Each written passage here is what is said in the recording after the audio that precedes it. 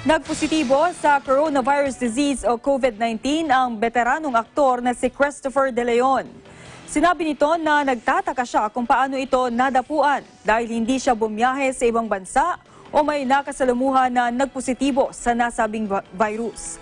Pinayuhan din niya ang mga tao na kanyang nakasalamuhan na magpatingin sa doktor para matiyak na hindi sila nahawaan. Maging ang kanyang asawa na si Sandy at anak na si Micah at maging ang mga kasambahay ay naka-self-quarantine na umano sa bahay.